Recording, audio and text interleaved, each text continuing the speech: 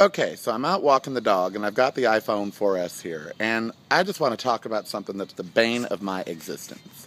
Over here on this car, this poor schlub over there, if you can see it, the poor schlub, yes, here's the dog. There's Allie, she's still here. There's Tilla. We're out walking. Uh, that schlub and that schlub right there has a ticket, as do many other on this street because it's what? Street sweeping day.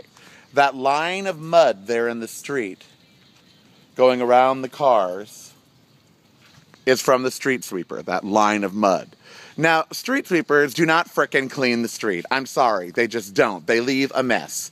They just leave a mess. And all they do is generate 50 or $40 tickets, you know, and they leave a mess. So here we have a street that allegedly has been swept. We have people that have been fined.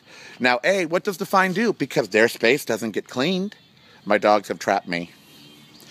How many of you walk dogs and have your dogs give no regard to your legs? Uh, I don't care. You should have to be invisible. Ah, okay, there we go. We were having dog issues. How many of you see a street? It's not clean. Like, look, that's clean. That's clean. Look at that mud and that filth. Look at all this filth here. It's still filth. Filth, filth, filth, filth, filth. That is not a clean street. Look at that. So these people pay a fine. The street isn't very clean, and their spot doesn't get cleaned from their fine fee.